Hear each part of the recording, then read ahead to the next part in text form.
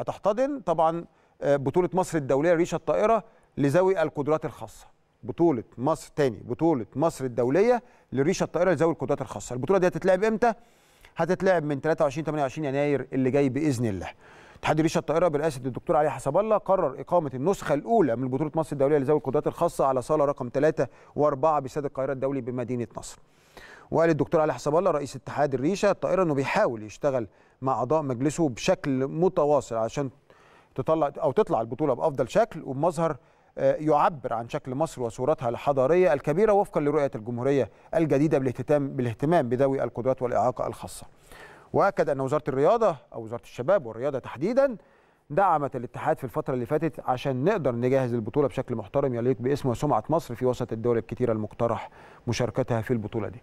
أنا عايز أقول حاجة يعني إنه ما يخفاش على أحد إن الفترة اللي إحنا عايشينها دي هي يعني الفترة الذهبية لذوي القدرات الخاصة وأصحاب الهمم.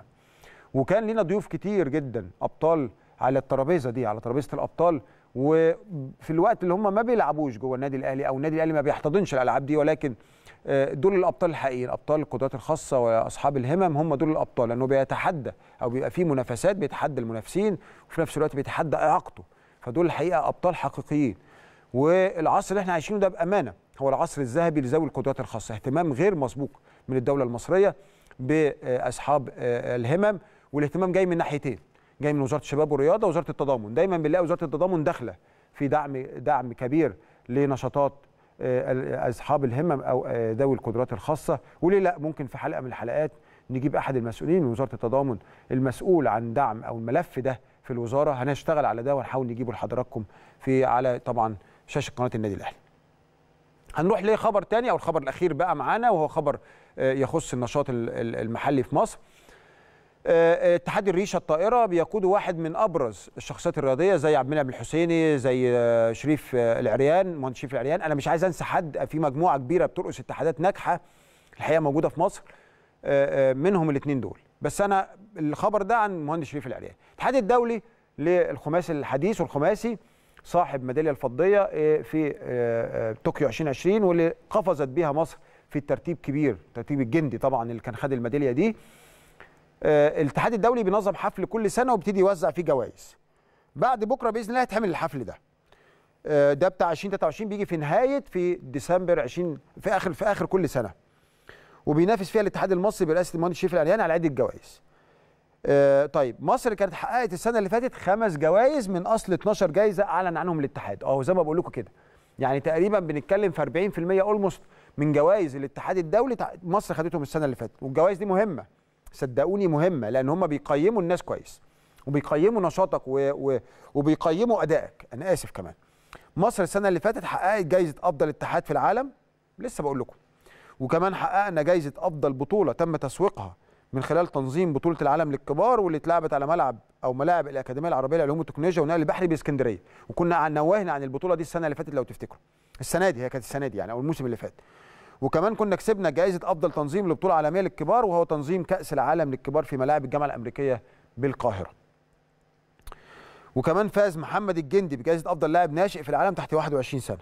كمان فاز معتز وائل بجائزة أفضل لاعب ناشئ شاب تحت 19 سنة في العالم في الع... في, المد... في. في السنة اللي فاتت. ده صورة محمد الجندي.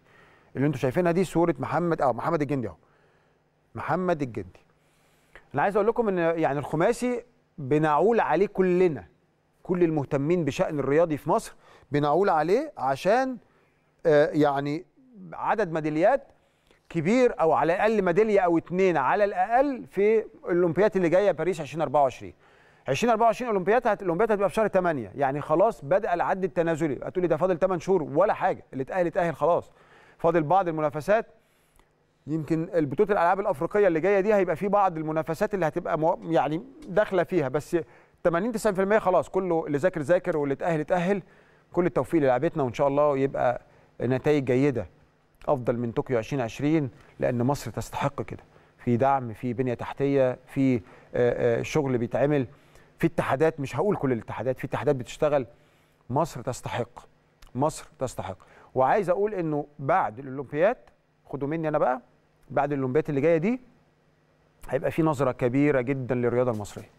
بعد الأولمبياد اللي جاية إن شاء الله هيبقى في نظرة كبيرة جدا في الرياضه المصرية بشكل عام عشان نقدر الرياضة المصرية تواكب روح الجمهورية الجديدة. لأنه النهارده أنت عندك كل حاجة. أنا والله العظيم يا جماعة مش بقول الكلام ده أنا بقوله يعني الواحد مر ب ب ب يعني آه، يعني بشاف أكتر من وضع سواء بره مصر أو جوه مصر. البنية التحتية اللي بتعمل رياضيه في مصر تنظيم البطولات. إحنا النهارده كنا فين وفين لما بنلاقي بطولة على مصر وكان آخرنا بطولة أفريقية. كل البطولات كل الدعم وزارة الشباب والرياضة داخلة معاك في كل حاجة ممثلة الدولة المصرية. في شغل بيتعمل مش هنقول أحسن حاجة طبعا يعني طبعا الكمال لله وحده سبحانه وتعالى ولكن خطوات كبيرة اتخذت في هذا الاتجاه. فلازم يكون ده قصاده نتائج. لازم يكون قصاده نتائج نتائج أولمبية لأن الرياضة لما بتنهض في أي دولة ده بيدل إن الدولة نهضت بشكل كامل. هنطلع لفاصل أعزائي المشاهدين عشان نستقبل ضيوفنا. وزي ما نوهت في أول الحلقة في الإنترو عندنا اتنين ضيوف النهارده. كبار. كابتن وائل العايدي مساعد رئيس قطاع الناشئين والناشئات في النادي الأهلي وهو المختص عن قطاع الناشئين واحد نجوم النادي الأهلي وده اللي هيبقى الضيف اللي جاي على طول. وبعديه على طول هيكون علاء أبو القاسم الأورا المصرية في السلاح. ولكن بعد الفاصل.